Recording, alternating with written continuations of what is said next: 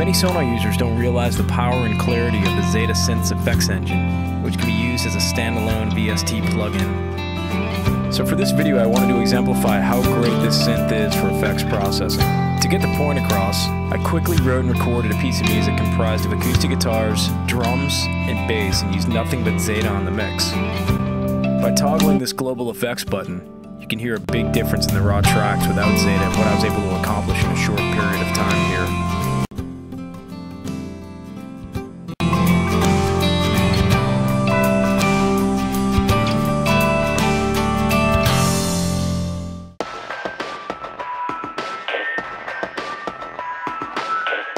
Besides the pristine sound, the array of effects in Zeta is very impressive. And looking at the interface, you'll find distortion, which also has a pretty cool bit decimator, compression, uh, reverb with hall, plate, room, etc. You'll see a modulation with many different modes, three delays, which are built into one, and also a seven-band stereo equalizer, which also has a simulation mode. This is the master section, which gives you basic information on the preset and program. Also built in is a basic limiter, which helps maximize the sound of the effects. In the master section, you'll see the value of the parameter changing when the mouse hovers over a slider.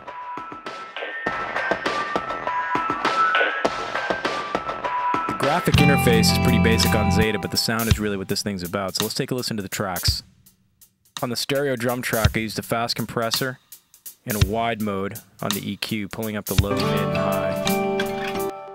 Soloing the bass, can hear that I used a fast compressor and also pulled up some low end. When I toggle back and forth the bass track, you'll hear quite a difference.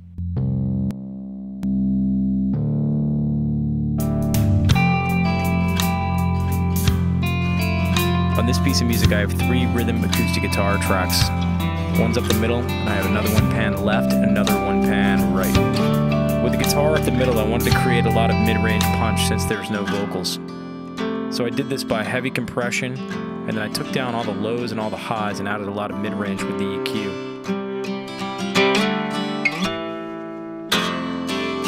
On the other two guitar tracks, I basically did the same thing by shaping the EQ and also using some compression. As you can see here, I just added a little bit of mid-range and top end. Tracks 6 and 7 are where this piece of music gets its width, where I scrolled through a bunch of presets to find starting points. Presets in this VST are really what set it apart from other effect units. It has over 700 unique sounds to experiment with, and you're sure to find something you're looking for, especially in the modulation and delay departments.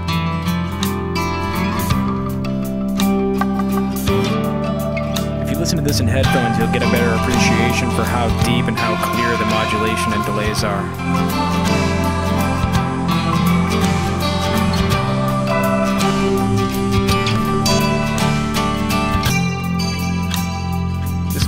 Track's a good one to solo up to show you how some of the presets work and what they sound like. Here you have banks A through F, and in each bank you have about 130 presets to start from. So that's over 700 presets in the program.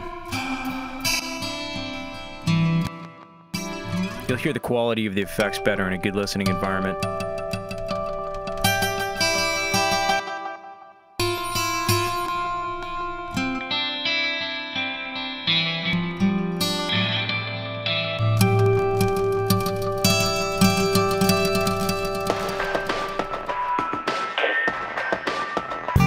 It's also worth pointing out that I used Zeta for five effect buses and also on the master bus. And by just using gentle compression and a little bit of EQ, I was able to fatten up the mix considerably.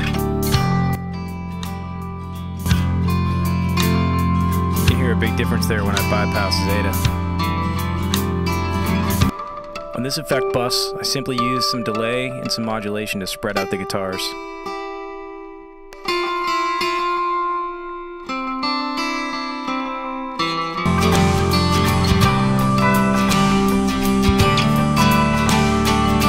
As you can see and hear from this project using only Zeta for effects, this original synth, which is a legend primarily for its pristine cutting-edge keyboard sounds, is also the real deal when used as a VST plugin for effects.